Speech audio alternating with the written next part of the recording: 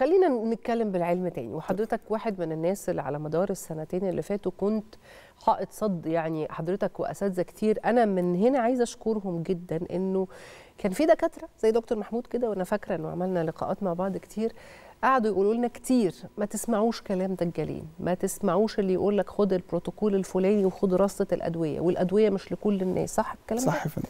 عايزه أسأل حضرتك النهارده حضرتك قلت ما تتعاملوش برضو بتهاون. right إيه ال- إيه الصح؟ إيه البروتوكول الصح النهارده؟ آه، طبعا أنا مش المتخصص اللي يعالج لكن أنا أنا مش أستاذ أمراض صدرية. تمام. آه، أنا بتاع academic research على الفيروسات من الناحية المناعية والناحية الجزيئية. لكن ما أنا هسألك في كده right يعني هو أنا محتاج أقوي مناعتي عشان أيوة. أبقى جاهز للكورونا نتكلم نتكلم في ده الأول هتكلم بيولوجيا جزيئية دورها إيه دلوقتي بس إحنا ادونا بلابيع تقوية مناعة كتير لا لا. لا لا لا, لا. اولا آه، الذي يعرف المريض الأكثر حساسية للإصابة والأكثر عرضة للأعراض الممرضة تحليل جزيئي لأن آه. وراثيا أنا وحضرتك وسيد وابراهيم وعباس وتوفيق. مش زي بعض طبعا وبالتالي لازم يبقى عندنا طرق تشخيصية جزيئية شديدة التخصص تعرف مين الفئة الأكثر عرضة ودول اللي يتم التعامل معاهم بشكل إيه؟ ساعتها هنوفر أدوية وهنوفر لقاحات. دي نمرة واحد. نمرة اتنين حكاية نقوي جهازنا المناعي دي مرفوضة لأن الناس بتموت بالكورونا نتيجة عواصف مناعية. آه. نتيجة إن جهازهم المناعي شديد التعامل مع الفيروس أكثر من اللازم.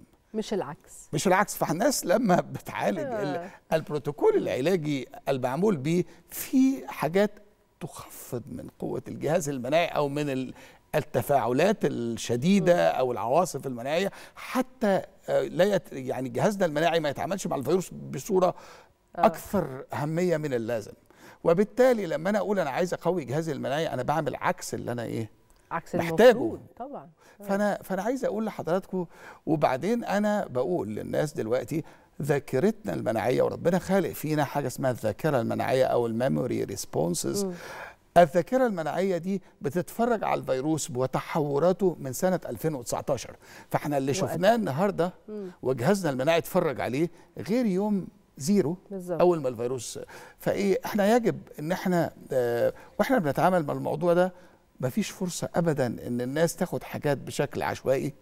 وبشكل غير مقنن حتى لا يحدث ما لا يحمد عقباه دي أعتقد إنه ناس كتير بتسمع النهارده وهي عارفة إنه كم مرة خدت الفوار بتاع تقوية المناعة وكم مرة قال قالوا لنا كده قوي مناعتك. بس إحنا كمان في شوية حاجات العلاجات المنزلية دي إحنا بنرتاح إننا نبقى عملنا اللي علينا. آه، يا ريت من المنبر بتاع حضرتك آه، نبطل الكيس الصغير اللي سم- مسمينه مجموعة الإنفلونزا اللي فيه حباية زرقاء وحباية خضراء وحباية حمراء آه. وحباية نص نص دول اللي بيتاخدوا كلهم مع بعض والناس بتعرق وبتفوق.